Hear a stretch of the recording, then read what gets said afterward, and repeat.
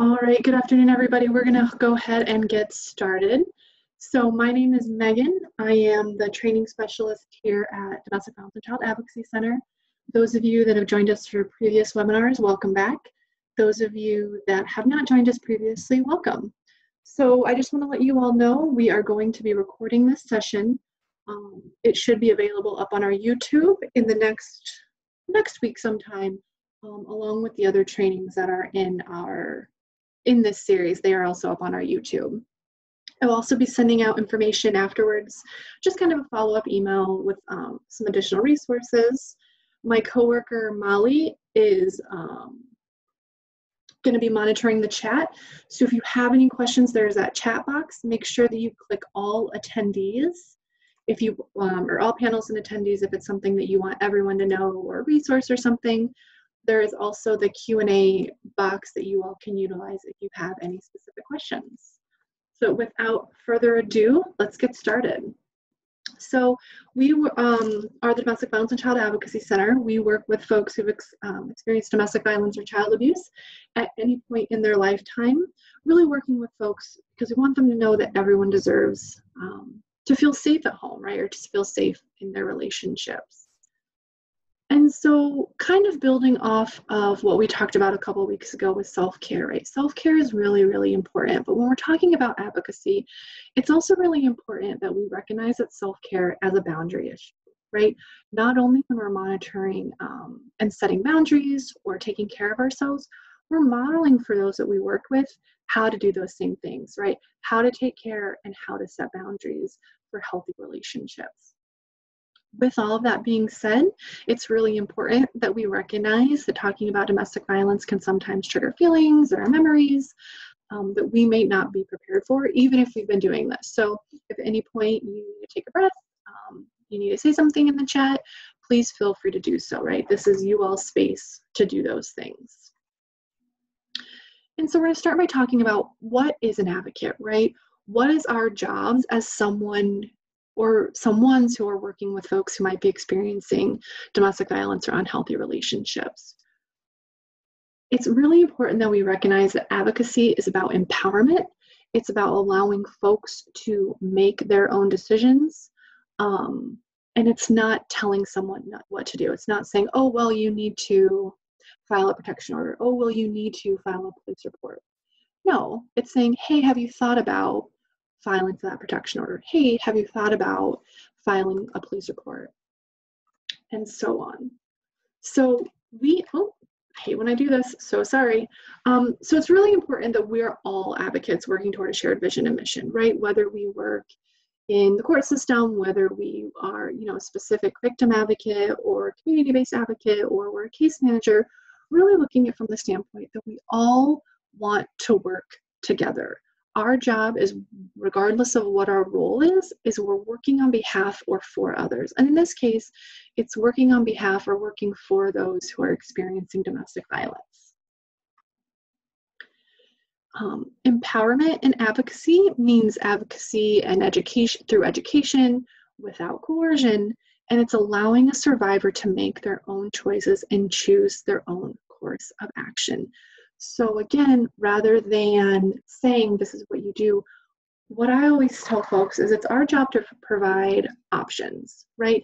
Well, if you took this option, this is what could happen. If you decided to go with this, this is what might happen.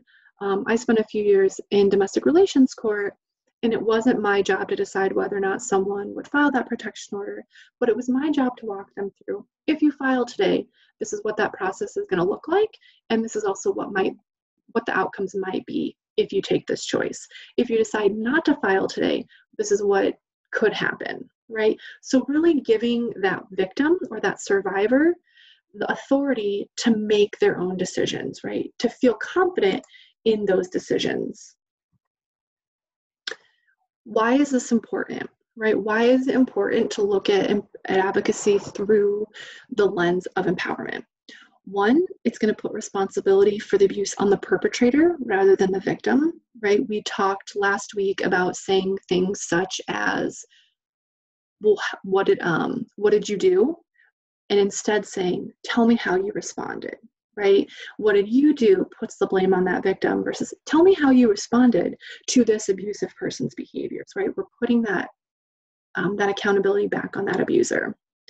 It reduces isolation in experiencing domestic violence, and it really, really importantly reestablishes the survivor's own personal power and control while building on strengths, right? So it's helping them identify things that they've already done well, things that they want to do, and it gives them or it can give them that confidence in saying like no you have the ability to make the decisions right? I'm going to support you regardless of that decision you make. How how can we do that? How can i help you decide what that's going to look like I think it's also really important to recognize that a lot of us come into this work because we want to help, right? We want to, I don't, we, we're caregivers, right? However, what gets really, really difficult, and I'll speak for myself. So, the first year I started this work um, working in our shelter as a youth advocate, and it was really, really hard for me for the first few months to not take those stories home, to not hear and work with youth and go home and cry. But what would ended up happening is I would do more and more and more for certain clients or certain families. And what happens when we do that is we burn out, right? And so we really have to be mindful coming back to setting those boundaries it's not that we don't like our folks, it's not that we don't want to help, but setting boundaries is so important in modeling healthy relationships. And so we want to be in that helper category versus that rescuer category, right? We want to offer support when it's needed and when it's asked for. We don't want to provide assistance without asking. So if someone comes to us and says, I just need to talk, great, we're providing that listening ear and we're not then saying, oh, by the way, now that you're listening to me, you should also file an order in juvenile court and you should file a report and you should and you should. No. Letting that victim, letting that survivor guide how our conversation goes. We're only giving what is needed rather than giving more than is what is needed or what we think that victim needs, right? there with that comes a certain level of, det- of detachment right? That sounds kind of cold but we have to. If we took every single person's story home with us we would not be able to function in our lives and then give to our families our friends right? So we have to be able to give without expectation because when we have that client that doesn't connect with us or doesn't like us it's not us, right? We're not taking it personally. We have to recognize that this person we're working with might be experiencing some, experiencing some severe trauma. And so us taking that on, it's not about us, right? The moment we start centering and we start taking things personally, it becomes about us rather than coming about that victim or that survivor. It's also really important, again, boundaries. You're going to hear me say that a bunch more times because boundaries allows that survivor that person, that family, to take responsibility for their choices rather than, again, us taking that on. So, what are our goals? What do we want to do? What do we want to accomplish? It's kind of three key things. We want to assess the victim's needs, we want to offer and explain options and resources, and we want to help that victim implement their choices, right? So, a question we ask all the time is tell me why you're here, right? Or tell me what would you like to see happen? That doesn't necessarily mean we're going to make it happen, but we're allowing them that voice to say, How would you like to direct this? Another important question is what's your biggest concern right now? Right? Think about you all's to-do list and you start writing and I have to do this and I have to do this and I have and soon we're overwhelmed. And so yeah, we can write that big long to-do list, but maybe it's what's going to happen today. All right, check. What's going to happen next week? Don't think about 2 months from now, don't think about a year from now that's overwhelming. What are we going to do today or within the next week or within the next couple of weeks before I see you again? Offer and explaining the options and resources. I think a lot of times we think, or what I hear is, oh, you're, you know, advocates, domestic violence, we're doing all this really great work and it's rainbows and sunshine. No, right? A lot of our job as advocates is to have really, really tough conversations, really hard conversations, but we're doing it in a way that's empathetic. We're doing it in a way that's understanding and supportive. So maybe it means, hey, if you file this protection order, I, I'm not going to tell you if it's going to be denied or not or granted, but I need you to know that this is a standard it reaches. And from what I'm hearing, there may not be enough for this protection order to be granted. And that victim is going to get mad and you don't understand, or hey, I really you know, you don't qualify for this housing option. And they're going to hold on to that. You don't qualify. But how can we say, hey, this isn't working, but what I found is maybe we can explore this other thing, right? In that implementation phase, it's going to look like you can do this, right? So, one thing when we safety plan, tell me ways that you've already kept yourself safe. Hey, you've been doing this for a year, six months, two years. You know how to keep yourself safe, right? You're doing this. You're already here. You're asking for help. That's a really, that's hard to do. And so you're already taking steps, right? Preparing. Okay, here we go. Organizing and then strategizing. Okay, what's this going to look like? Let's, and sometimes that also might look, and it sounds silly, like role playing, right? Okay, here's a mock trial, here's a mock, you know, court hearing. What are some questions that might happen or what are some things that might come up?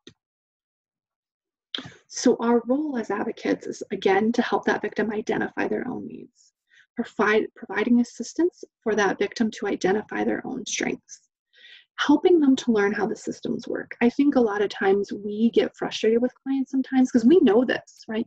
We do this every single day. And when someone's just not understanding, we're like, why, you know, why can't they get it? What's going on? We have to remember that one, a lot of times they're in trauma. And so trauma brain, someone's not going to hold on to something.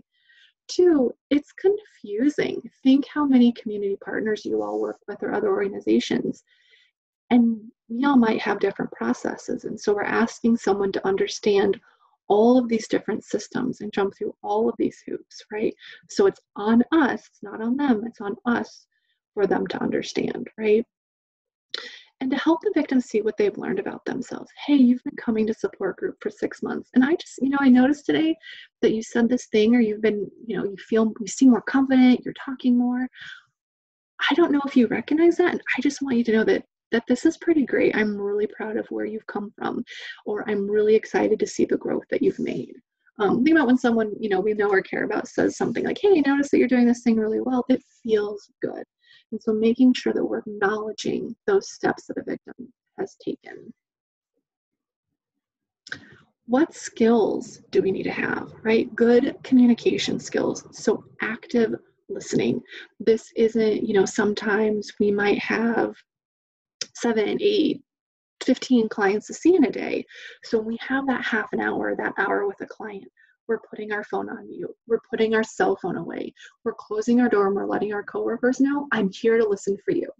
Now, when we can't do that, we can say, hey, I really want to hear what you have to say. If this certain person calls, I'm going to have to take it.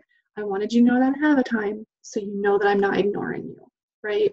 Or, hey, it's you know I, we have till 12.30 at 12.30 we're going to have to end this. That doesn't mean we end the conversation forever but it means we end it for right now. Knowledge and comfort with cultures and lifestyles other than our own right? Recognizing so i'll give you a fun fact about me. I grew up in idaho. So when i moved to cleveland and started working in a shelter in cleveland ohio um, i'm not going to relate to some of our shelter clients in the way like I'm I'm a country girl. I grew up next to farm, you know, I get asked the question, where's your family potato farmers? Yes, they yes they were. And so I have to recognize that I need to be open and aware of one, my privileges, but also open and listening to other folks that come from different places and being comfortable sitting in my discomfort. Right? It's also important that we have critical thinking, assessment, and planning skills. We know domestic violence. I know domestic violence. However, I don't know every single person I'm working with. And so, while I might have that foundation, it's really important for me to be able to plan and prioritize when different folks come in with different needs. Knowledge of my own limitations, right? I'm not going to be the best advocate, or I might not know. And so, rather than making it up, I'm going to say, I don't know. Let me get back to you, right? And then again, with the boundaries and the self care, it's modeling healthy interactions with our clients, with our coworkers, with whoever it is. Like, right, our clients are absorbing everything that we're doing. And so, if we can set those healthy boundaries and those things, they're going to be able to, whether we realize or not, kind of take that in. And so, what an advocate is not these are important reminders for us because again i think we get frustrated sometimes when we're not you know our clients are going back home or not doing what we want them to do. It is not our job to fix the problem right? It is not our job to take away a survivor's pain. It's our job to say you're allowed to feel angry. You're allowed to feel annoyed right? Now you're not allowed to yell at me and call me a bee. You can yell around me But again, setting that boundary. But it's you sometimes we have to sit in our discomfort and have to sit in our pain and we have to allow our, our survivors and our clients to do that as well. It is not our job to know everything. It is not our job to give advice right? Hey, well, Megan, if you were in my situation, what would you do? Hey, Megan, have you ever been a victim of domestic violence? I'm, I'm hearing that you're asking those questions, but what I want to tell you is it's not about me. I am not in your situation, so I can't answer this question. What I can do is I can walk you through what if, but I am, again, I'm not in your situation. Also, I think it's really important for us to know that it's not our job to like everyone we work with, right? That would be it's a kind of a silly request, right? We're, we're going to have clients that we don't like, and that's okay. Our clients should not know when we don't like them, but it's okay to not like every client, right? It's also really important. Do not make promises you cannot keep because what happens is the moment we make a promise and we can't do it, that's what our clients hold on to. Well, you told me you would. Yes, I know. And we've lost their trust, and potential other advocates or other agencies have lost that trust letting our biases dictate your actions. We all have implicit bias, right? We all have different lived experiences. And so important it's important that we recognize when we're feeling a certain type of way about a client or someone that we stop and we recognize that. Be mindful of our language right? If a client calls themselves a victim i'm using victim right? Um, modeling and mirroring what they're saying. So, saying if a client says something like, I can't sleep at night, I'm so afraid, say it's not unusual for you to be afraid, right? Letting them know that their feelings in that language is okay. It's also really, really important for us to offer that validation and hope without offering that toxic positivity. And this is one of those things I'll say, and but rather than, than saying like you'll get over it, just be positive, right? Good vibes only. Like every emotion's welcome here. This is hard, right? You're you're getting through it, and I have full faith that you can continue to get through. You might not, you know, some days are going to be worse than others, but you're you're strong for simply being here, right? And so, looking at this, we're going to take just a few minutes and talk about the importance of cultural humility in our work, right? So, I recognize I'm going to skip over a couple of these things. Um, but it's really, really important to recognize gender based violence comes from a frame of a patriarchal society, right? And so when we're looking at those roots, um, more often than not, women have been the victims and women identified folks have been the victims of domestic violence. And historically, coming from that domestic violence perspective, it's been a lot of white women doing this work as kind of the forefront. And so we have to really incorporate. I was on a really good webinar the other day, maybe a couple weeks ago, or maybe Molly probably knows what I'm talking about, but they were talking about how, you know, women of color and Black women in particular have been talking for a long time in this work about the justice system not necessarily being the end all be all. And unfortunately, what we did as white women is we kind of ignored what they've been saying. And now we're catching up to like, oh man, other folks were right. And so we have to recognize our places of privilege, right? So, me as someone coming in as an advocate, I am a white, cisgendered, able bodied, educated, middle class person coming in and working with folks who might not look or have the same lived experiences as me. And so, let's look at some of these, right? Recognizing that folks might not have the same religion or faith as me. That's okay they don't have to believe the same thing. I don't have to believe the same thing, but it's really important that we validate their beliefs, right? Race, ethnicity, again, we do not all have the same lived experience. We might not have the same cultural or upbringing. And so I think about this a lot when I worked at shelter and we would talk about parenting. And so I have to recognize that cult, different cultural backgrounds have different things and so i have to stop myself from saying oh well this isn't how i would do it. Well great you that's not how you would do it but if this is working for them then then that's okay and listening.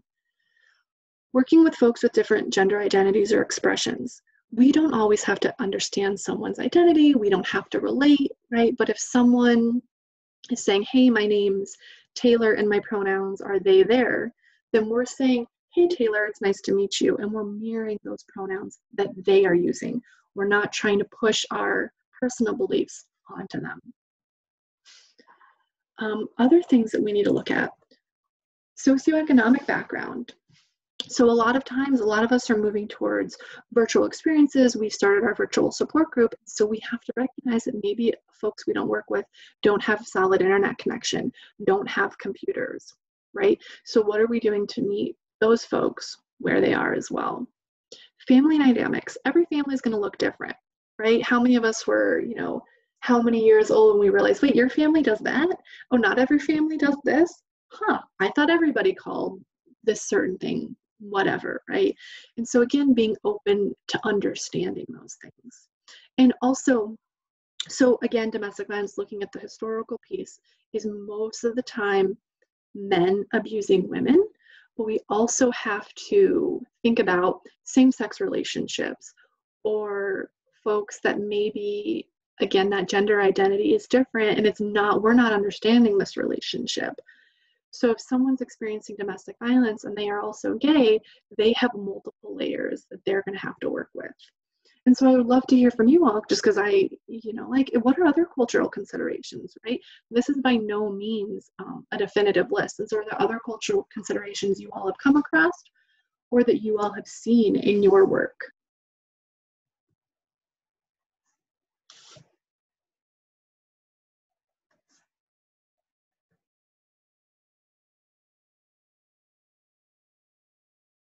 known others. All right no and that's fine um but i think it's again important to recognize that where we're coming from is not necessarily where everyone is coming from. And so looking at this kind of i think this is such a good this came from ODVN and was kind of we adapted it a little bit but it's looking at those types of abuse right that we've talked about. Isolation emotional abuse sexual abuse financial abuse and physical abuse and so let's look at that first one with people of color. So, isolation, right? Historically, um, folks of color are dealing with gentrification, redlining, that's isolation, right? Emotional abuse, language, um, financial abuse, hiring practices, right? Or the physical abuse, the historical context of police brutality. And so one thing that I had to learn a lot is when, you know, I'm safety planning, it was always safe for me as someone, as a white woman growing up in Idaho, that, oh, if I needed something, I would just call the police. One thing I had to learn is that calling the police isn't safe for everyone, right? Or folks don't want to call the police because they don't want their partner arrested. They just want the abuse to stop in that moment. And so calling the police might not be the best option for everyone looking at LGBT individuals, right? That isolation of being forced to stay closeted. And so maybe they're in this relationship um, and their coworkers don't know they're out. And so this person is threatening, if you break up with me, if you don't follow along with what I'm what I'm going to say, then you're going to be abused. Then I'm going to out you, right? You're not a real man. You're not a real woman, right? And so making sure that when we're coming from that place of advocacy, right? They're coming from that place of empowering folks to do what they want us to do or or we wanting them to be safe, we're letting them make their own decisions, right? We're empowering them through questions like, what would you like to see happen? How would you like to handle this? And again, knowing that we don't have to have all the answers. And so I want to, this is a lot of information and a lot of heavy information in a very short period of time, but I want to make sure we've got about five minutes left that we open it up for questions, right? So coming from that empowerment model and not necessarily that we're here to, I think one thing I say to, to folks a lot is that we're not here to save anyone. I've been doing this work for over 10 years. Never once in my career have I saved anyone. That is not my job. That is not my role my role, and as cheesy as it sounds, is to be is it if anyone has a better way to say this, I would love to hear it. My role is to be a tool in someone's toolbox, right? I'm here to provide options and resources for them to help. And so it's changing our mind frame of how can I save these folks to what options, and sometimes that option is just being that listening ear. So I'd love to hear questions you all have or experiences you all have in doing this work and as being, as being advocates in this work as we kind of wrap up.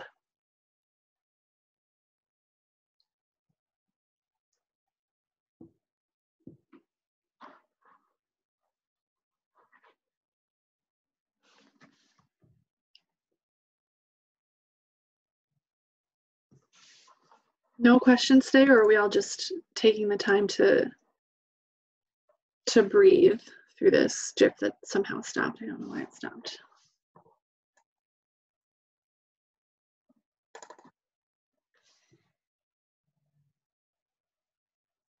Breathing, yeah, it's important.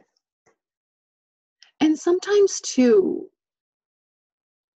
advocacy and sitting with folks can also be doing that with them, right? So if you have one thing that I found really helpful, and I'm sure if you know some of you will know these things, but it's just nice to remind ourselves, right? If you have a client that's talking really loud and starting to yell or starting to threaten, then we can say like, talk quieter, right? Whisper. And so then they have to stop and they have to hear us. We're saying like, hey, okay, let's sit in our discomfort or tell me why you're feeling that way. Yeah, Lisa says it's a struggle for the client. We can ignore, cannot ignore that this is also a struggle for us, but we have to stay focused. Exactly. And so it's it's hard, right? And that's why it's important. We talked when we talked about self-care, and if you missed that recording, it's up on our YouTube.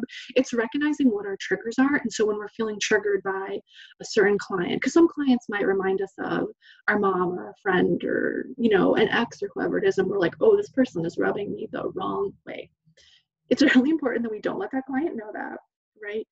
Um, and allow them to do that. But then afterwards, it's also really important for us to go to our coworker and say, I just need you to listen to, just like the client needed us to listen to them. Finding those folks that we can go and just vent to for a little bit. Because the moment we start making it about us, you know, the moment we start focusing on where we're at or what we need or how I'm feeling, that shift it's it's no longer about the client right? It's no longer about about us helping them it becomes about us.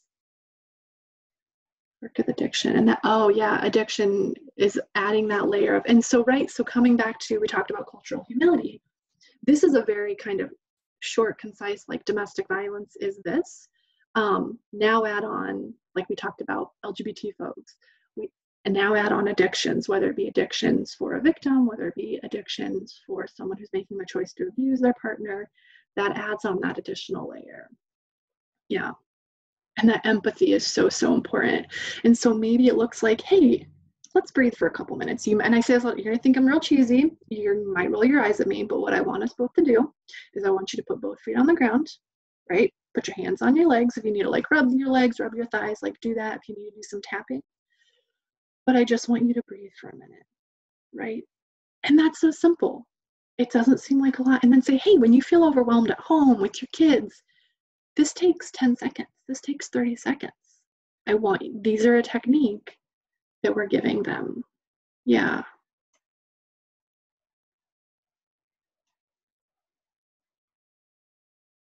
Other questions, concerns, right? This is a space for you all to kind of learn from one another as well.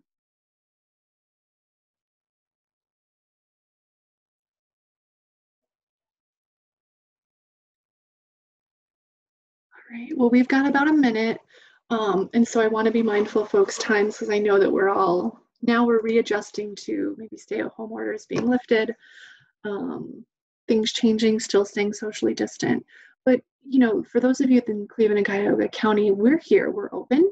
And so, if you know, we referenced in the advocacy that you don't have to have all the answers. And so, if you have a client that you're not quite sure what to do, call our helpline, have your clients call our helpline, call or text. Um, folks can chat on our helpline or chat on our website. Um, we're, we're open. Um, I'm sure, like most of you all, our services look a little different, but they're still happening. And so I just want to say thank you for spending this afternoon with me. If you all have other questions, like I said, we're here. And so enjoy the rest of you all's afternoon.